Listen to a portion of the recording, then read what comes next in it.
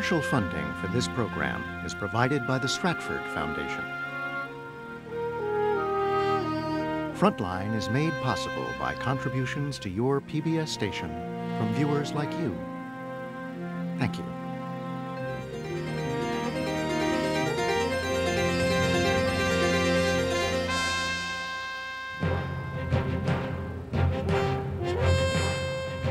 The deal was struck 60 years ago. America struck a pact with Saudi Arabia. You give us oil, and we will give you protection. Every president since has reaffirmed the arrangement. Over the years, both sides have benefited. Billions of petrodollars were recycled to buy expensive American military hardware. When necessary, America has intervened directly to keep the kingdom safe. They found the oil for us, and they've been our friends ever since. But there's always been another Saudi Arabia. One of fervent Muslim warriors, tribesmen with an innate distrust of outsiders. For them, the monarchy is corrupt and the deal with America a bargain with the devil. Saudi preachers ascend their pulpits to rail against infidels and Jews. Saudi citizens have supplied millions of dollars to school and train jihadis around the world.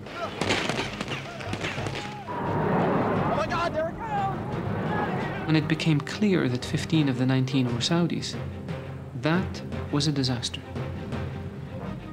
Now, Saudi militants have turned their sights on targets inside the kingdom and on Americans in Iraq. President Bush maintains that the Saudis are America's friends. Tonight, a special frontline history, House of Saud, the story of a troubled alliance.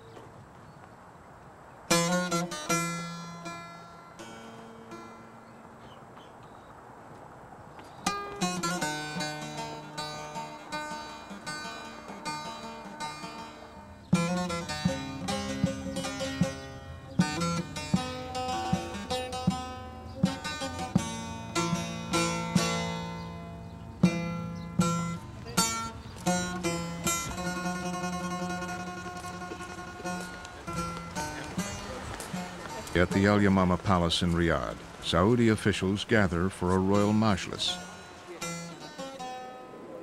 It's largely ceremonial, but speaks volumes about how this country is governed. It is presided over by the kingdom's de facto ruler, Crown Prince Abdullah bin Abdulaziz, a son of the kingdom's founder.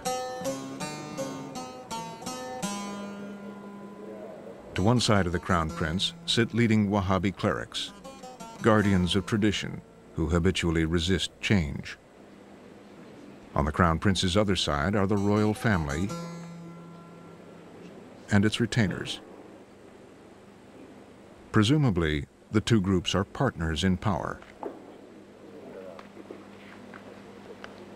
As male subjects come forward asking for favors, a new well for a village, or money for a daughter's wedding.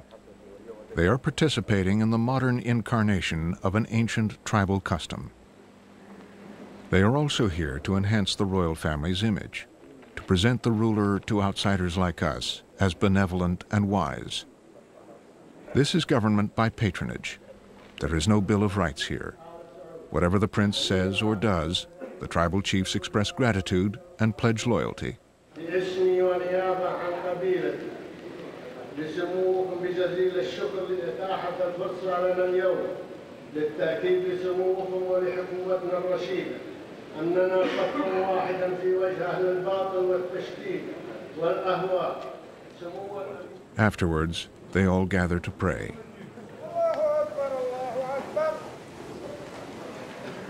The Al Saud family conquered the kingdom in the name of God and the Quran.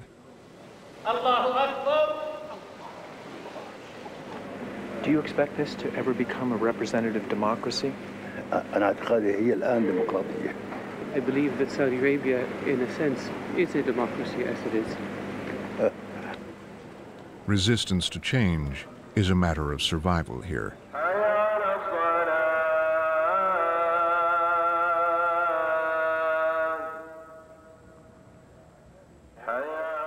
This is a nation in shock where tradition and modernity are in violent collision. Few places on earth have come so far so fast as Saudi Arabia in the 20th century.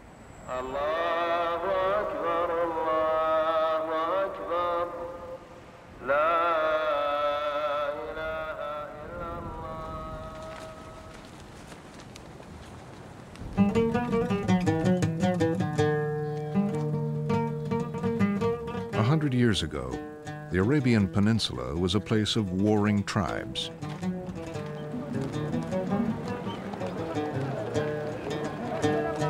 Nomads, sheikhs, emirs. Among them was the family of Al Saud.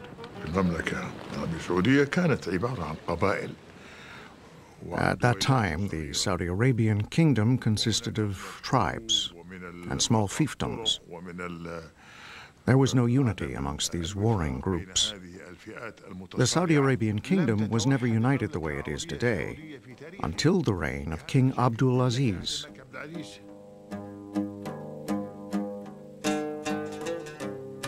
In 1902, with just 60 men at his side, Abdulaziz ibn Saud rode out to begin his quest for a kingdom. He certainly had a vision. He had a large big vision of what he wanted this country to be. He wanted it to be a nation and to take its place among the nations rather than to be a forgotten backwater where nobody cares what they live or die, what's happening there, but to be a player in the international scene. But to conquer the whole Arabian Peninsula, he needed the fighting skills of the nomadic Bedouins known as the Ikhwan.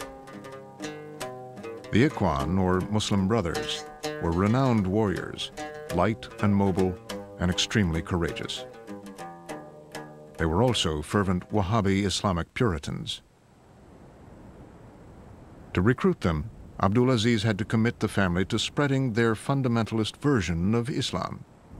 The Ikhwan were an important fighting force that supported the expansion of Ibn Saud. They had this vision that they propagated true Islam in its purest form. So anything they encountered that differed from that vision was regarded as objectionable. The nature of where they were coming from, the desert, uh, was isolated really for almost 800 years.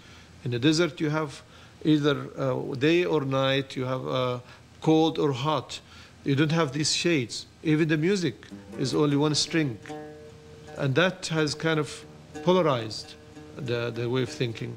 It's either black or white. Uh, it's either you're with me or against me. The first Western reference we have to the Ikhwan, the Brotherhood, comes from Captain Shakespear, who was one of the early British explorers in Arabia.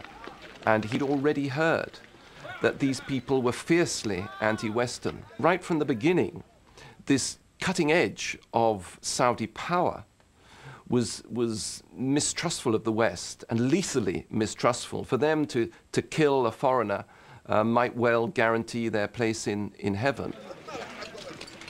With the Ikhwan troops, Abdul Aziz captured province after province of the vast desert. By 1926, he and the Ikhwan had captured the jewels of Arabia, Mecca and Medina, making Abdul Aziz the ruler of Islam's holy shrines. It brought prestige and substantial income from visiting pilgrims. It was also a great victory for the Wahhabis. The Wahhabis took their name from an 18th century Islamic preacher, Muhammad bin Abdul Wahhab. Wahhab was first to see the value in forging an alliance with the able tribesmen of the Al Saud family in order to help spread his austere version of Islam. The Ikhwan were living out Wahhab's dream, and they wanted to keep going. They wanted more, and they just wanted to go on and on um, and attack particularly the, the British settlements in the north and Transjordan and so on. They wanted to create an empire extending across all of the Muslim Ummah. They would have, God knows where they would have stopped, maybe in France, given the chance. So when Ibn Saud tried to restrain them and ask them not to launch attacks into these territories, they rebelled. They revolted against him, and they accused him of being uh, an infidel, of having abandoned the uh, faith of Islam and becoming worldly and uh, all that kind of thing.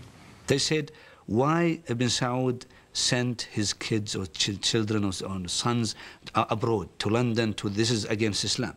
Why we had the new technology coming, wireless station, whatever, this is against Islam. If Abdulaziz were to stay in power, he had to destroy the Ikhwan. But how could he, the defender of Islam, justify going to war against his Muslim fighters? His way out was to win over the religious establishment, the ulama, who were regarded as the moral guardians of the realm. He turned to the religious establishment in Riyadh. He said, You judge this. Judge between me and the Ikhwan. So they looked into the Islamic laws. They scrutinized the Holy Quran and the Hadith and found that King Abdulaziz was right. So they gave the famous fatwa, which said that the Ikhwan were wrong. They had no right under Islamic law to rebel against the ruler.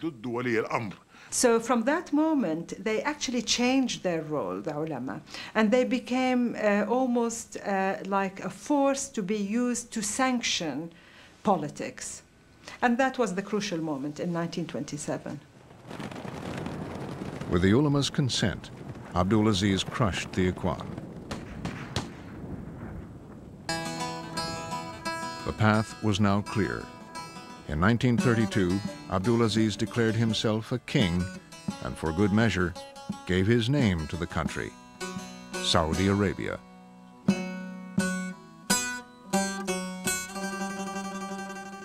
To unite the kingdom, King Abdulaziz married a daughter of every tribal chief in his realm and produced 45 legitimate sons. Every Saudi king since has been a son of Abdulaziz.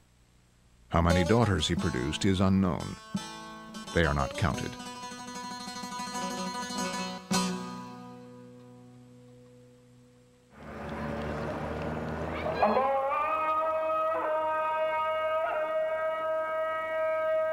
Abdulaziz would not forget that religion and the ulama remained central to his rise to power.